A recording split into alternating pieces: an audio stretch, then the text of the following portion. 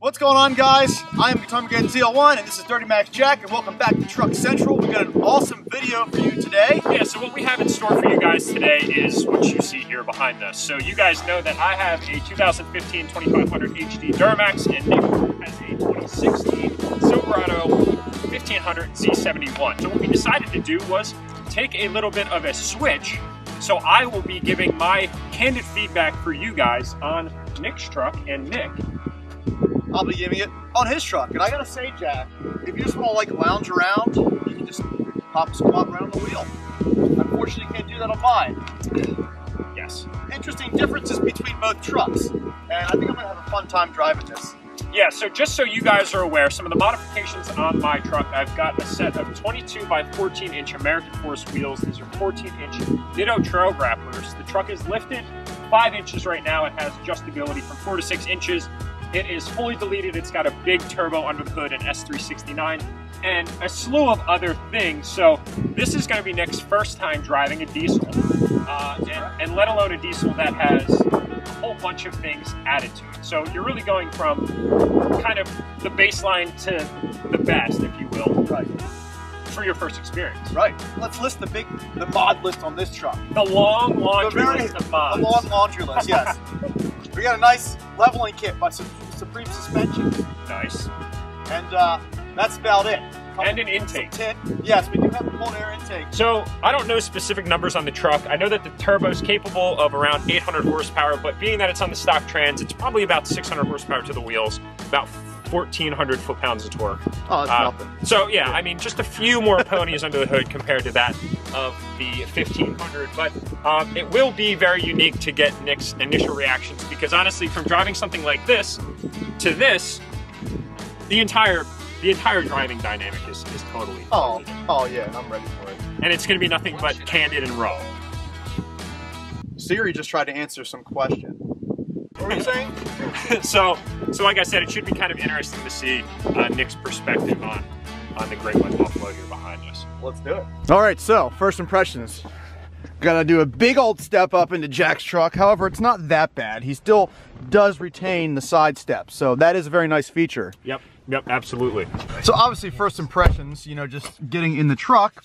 Well, it's very similar to mine because we have the basically the same generation truck, uh, Silverado. So And from the inside, it Yeah. probably isn't going to feel too much. no, the, the only thing I mean, you have the you have the nice wrapped dash here that I don't have the the, the uh, contrast stitching on So here. this I is an LTZ, that's what it is. Okay, so Yep. mine's just a two LT. right? Okay. So it's got everything but the highest level of trim. You know, I've got all the leather seats and stuff, but I just don't have this level of trim. Steering wheel is exactly the same. And obviously the uh, good old Duramax air freshener adds I put that nice there just so you didn't forget about what you were driving. Oh, right. All right, so we're gonna adjust the seat here real quick, only because Jack likes to low ride a little bit. I like to feel like I'm in a race car. yeah, so I think one It's thing that you'll notice is driving a diesel.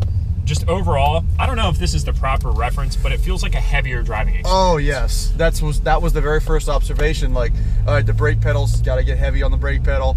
It's like driving. This is almost like driving more of a tank as compared to, um, let's like say, a passenger car. like a jeep. Like, you know what I mean? If we're in the military and we're comparing military vehicles, my truck is the Jeep, the Willys Jeep, and this is the freaking Panzer. Ooh, I like that. I like that spool. That's Yeah, nice. that's something that definitely doesn't get old.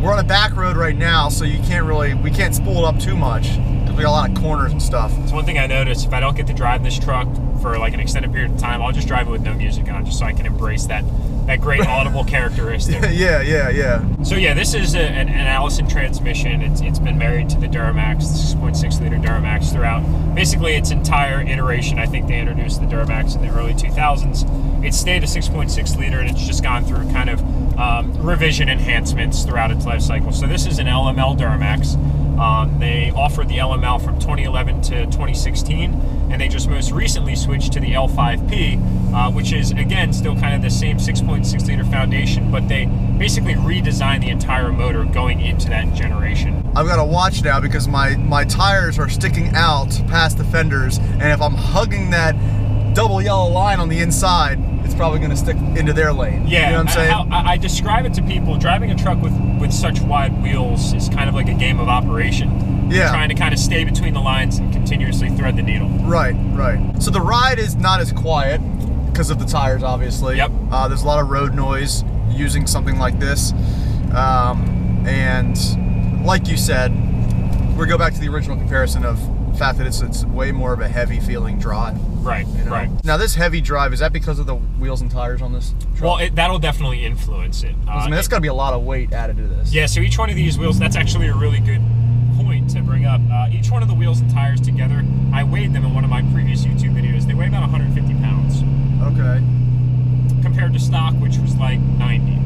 Okay. So you, you Yeah. definitely have a lot of rotational mass. Yeah. So outside of really the, the overall weight of driving, I think this is where you're really going to get a flavor of just how different the power is delivered in a diesel versus a gas. Okay, so we're gonna get on the highway here in just a second once this traffic clears because we've been driving back roads for the past five minutes now. If you want, you can just kind of like land the throttle or however.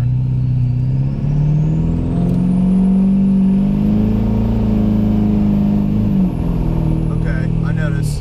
Yeah, it's like a very. It's de- way different than a Yeah. naturally aspirated V8. Yeah, yeah, I'll say again- it. It keeps. It's like keeps going. Like it wants to keep pulling. You know what I mean? Yeah, and that's one thing that's nice about this turbo. I mean, once you have a, a, a tuned diesel, it will pull. Yeah. But this turbo, especially, it's going to pull all the way through your RPM spectrum. So That's what it really felt like, wherever you yeah. are, you're like, okay, I'm at boost here, but then if you mash it more, there's more there.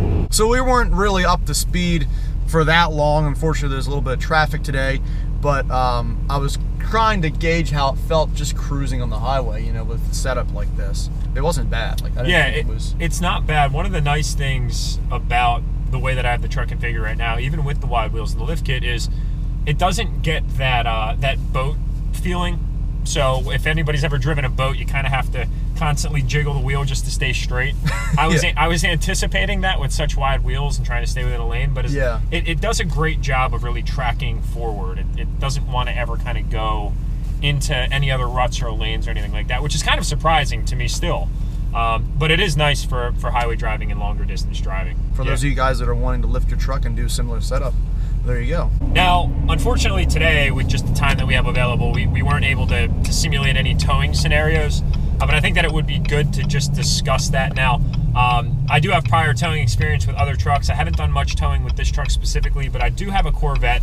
Uh, I did go out and pick up a trailer uh, about two weeks ago, and I married it to this truck just to see how it would do with again the lift kit and the modifications that are on it. With the bigger turbo, there's you know increased lag. It's not as responsive as the stock one, uh, but it still did very well. It's not like again you lost a lot of the drivability. The truck tracked the road very well. Yeah. Uh, braking was still very good. It's not like anything felt loose or wobbly. Overall, it, it's it's a great package for what I'm going to be using it for, and that's kind of everyday driving as well as some light towing. So getting back to the lot now, this was pretty cool. I like it. I like driving this truck. Could I drive it every day?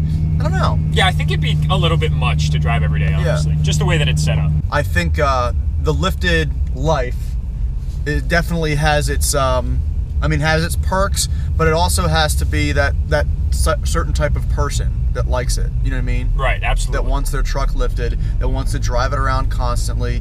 Hey, if you got a truck that's not a daily driver and you want to lift it, by all means, Yeah, I would it. say Absolutely. do it. Don't Because that's awesome. You know what I mean? But if you're going to be daily driving your truck and you're kind of on the edge of if it's, if it's going to be comfortable and you know what I mean, easy to drive, easy to or whatever, navigate, yeah. all that kind, kind yeah, of like stuff. there, just turning the wheel right there. It's I can't. They- way too much. Right, Yeah, way you too much. Get a little bit I of have, movement. You have to actually start moving before you can turn the wheel. exactly. It's like it doesn't have power steering. Yeah, it's crazy. because they're so heavy. So what we're gonna do now is we are going to switch scenes on you guys. We're gonna switch drivers, and we're gonna jump on into Nick's trucks, and I'm going to now provide you my opinion versus kind of my diesel experience now into a gas truck. Let's do it. All right, so just a little bit of role reversal now, and I am behind the wheel of a red 2016 Silverado. Oh, sorry. I'm behind the wheel of a red 2017 Silverado 1500. Uh, it's got a leveling kit. Uh, you have a light barn. You've got a cold air inductions intake, as you mentioned. And aside from that, this is going to be my first time driving a 2017, or as you could call it, new body style uh, GM light duty truck. So overall, these trucks are very friendly to drive. It's not like they they GM didn't design these trucks to be intimidating by any means because they want to cater to somebody that has the flexibility of the truck, the cargo storage in the rear, and the, the cargo inside for passenger storage as well. But they didn't want it to be big and bulky and heavy feeling, kind of like Nick had noted in driving my truck. So right away, it- it's kind of like the featherweight class. You know, it, it, it feels nimble, agile, and um, it's just easy to drive. Yeah, and the funny thing is, this is a full size truck. This isn't like the, the Colorados, which are sort, sort of a smaller Right. style truck. Right. I'm sure driving one of those, which I haven't yet, and I really want to. I'm sure driving one of those is probably this probably feels even lighter, more the lines of like a smaller SUV. And speaking of that, actually, earlier on in the week, Truck Central posted a video of a ZR2 Colorado review. If you haven't seen that yet, continue enjoying this video and then go over and check that one out. We also answer some questions too about the new featured segment that we're going to be putting on the channel, and um, a lot of you guys have been asking similar questions about it, and we answer all of them. So that will be at the end of that video as well. Yeah, and if you've made a submission of your truck, don't think that it's gotten ignored. We just have over a hundred of them that we're reading through diligently, so we'll be sure to consider all submissions. We definitely encourage you to make yours. But overall, you know, as you're looking over the hood of, of this truck, it does slant down more. Yeah, I, I like it too. It's neat. It's got like a nice little cowl. Uh, that you know gives you kind of that sense of yes, you know, I have a full-bodied American V8 under the hood. Right. And now speaking about the powertrain, you know, it's it's very smooth. The 5.3 liter in the in these trucks is is great. Really, it's it's kind of like the the little brother of the the Corvette. The 6.2, yeah. uh, yeah, it's it, it- the little brother of the 6.2, which is in the Corvette and the Camaro. Uh, it is a 5.3, so you know it's it's a little bit less bodied, if you will. But uh, just driving gradually on these back roads, you know, the power is there. It's very predictable. It's consistent, and um, you know, it, it- it's not like it feels like it's a slug by any means. Yeah. And another thing worth mentioning too is there's an optional 6.2 V8 that you can get in this truck. Uh, obviously, I have the 5.3 because this is the 2LT as opposed to the LTZ. Like your truck's the LTZ model. That's right. Mine is everything but the highest possible trim. But that offers a huge price differential when you're looking at. MSRP. It certainly does. Yeah, I, I fully optioned out a 2LT, and it was cheaper than buying a fully optioned, obviously, LTZ. And that's one of the nice ways of going about maybe customizing your truck is you can really be selective in what you're actually Yeah. going to use and pay for cordially versus paying for something that you're never going to use. Yeah, you don't have to have the highest trim level to get the best interior. Right. And for instance, my yeah. truck has a screen. It's got a DVD player. Yeah. So. I, like DVDs don't even exist anymore. yeah. So now you added a cold air inductions intake system for this. They make a really nice kit that basically just bolts right in. Yeah, It- cold- it's it's yeah. simple. Cold air inductions makes a lot of intakes for trucks, um, SUVs, and Camaros, whatever. So And you'll notice that, and I've actually driven a few 1500s before, so I, I kind of have a few other experiences. But Yeah. with the addition of the intake, you can really hear a throaty growl. So we'll see if we can get a little sound clip of the audio from the intake here.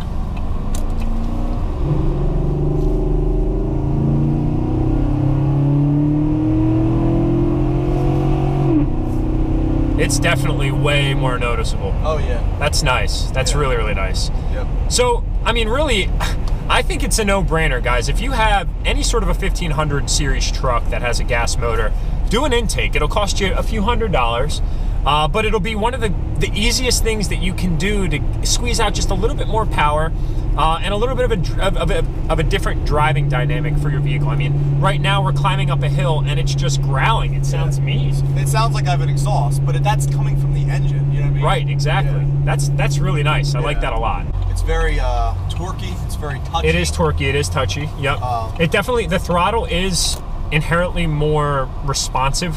Like I just kind of stepped on the gas there and, it, and we went. Whereas my Yeah. truck, you can kind of roll into it. Yeah. And you kind of feel like you're chugging along in addition, like additional weight. Yep. Um, but you know, it, it's it's peppy. It's responsive.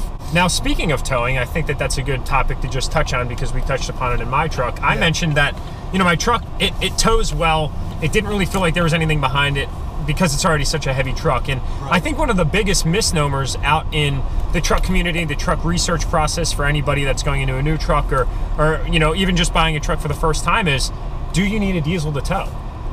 No, and that's the answer. And and, and your experience, you actually bought this truck in Kentucky. You were at Camaro Fest. So yes, I was at Camaro Fest in Kentucky, and you bought your ZL1 from um, from the same dealership. Yep. But what I did was, I drove um, my car to Kentucky, had my Camaro trailer with a different rig, and then once I went home, I towed my Camaro with this truck. So you had a, a like- cargo trailer, a car hauler trailer, and Yep. your new ZL1, If you get the the highest V8 for the 1500, you can tow. which is the 6.2 liter. yeah, you can tow 12,500 pounds. If you have, That's a big number. it is very big. So I'd say I think it's fair to assume that this 5.3 would somewhere be somewhere. Let's just say around like 10,000 Nine, pounds. yeah, nine, ten Nine or thousand pounds. 10,000 What this thing could tow. Um, you know, And I mean, really, for fine. general purpose, non-commercial use, you're probably never going to need to exceed that. right. So look at that as a $10,000 cost savings. Exactly. And that was one of the reasons why I didn't buy buy a diesel Duramax. It just you know, I didn't it wasn't needed. All I was gonna be towing was my car. The maximum, I'm talking like that's the max I'd be towing was a car in a trailer. Other than general hauling and throwing stuff in the back of the bed, you know, that's pretty much it. So what did you think? Well, I thought it was good. I thought it was really good. Uh, what, what I'm what I'm happy about is that we were able to express candid opinions, really with not much experience with either platform, right? From our opinions, and I think it'll be good for the viewers. I hope that you guys enjoyed it because it's going to be one video that really knocks out a lot of the misconceptions about the two trucks and kind of the offerings that they bring. Yeah, yeah, I, I definitely agree.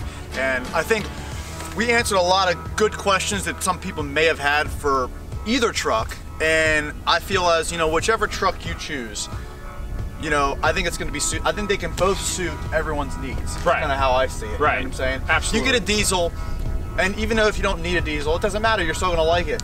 You get a V8, and you think, oh man, I need more than a V8. You really probably don't. You know what I'm saying? So Right. I think either way, which either route you go, I think they're both great choices. So let us know what you guys think. Would you rather have the lifted Duramax diesel or just diesel truck, or would you rather have the V8 1500? the practical V8 1500. Versus not practical at all. Would you rather have a turbo whistle or a nice big American V8 sound? I think I know which one I'd like. I Although I I, too. love this. I love this truck. Right. I'm just so much of an American V8 guy, you know. In fact, all three of my vehicles have American V8s in them. You're not biased at all. No, I'm not biased. No, no, no, no. But anyway, guys, we just wanted to say thank you again for tuning into another video at Truck Central. Uh, it's been kind of difficult to continue to pump out a lot of content for you guys because of obvious reasons, but going into 2018, the days are getting longer and hopefully getting warmer shortly. Yeah. Uh, so there's going to be a lot to come. We got a, we already have a lot of great videos that are on the channel and coming to the channel. So Right. um, be sure to share this video. Be sure to give it a very, very big thumbs up. Tell your friends about it. If you got any truck owners that are that want some good truck content, this is going to be one of the only channels on YouTube that is exclusively truck content all the time. So this is a great channel to subscribe to if you are a truck enthusiast. So be sure to do that. Hit the subscribe button below. And have a great day.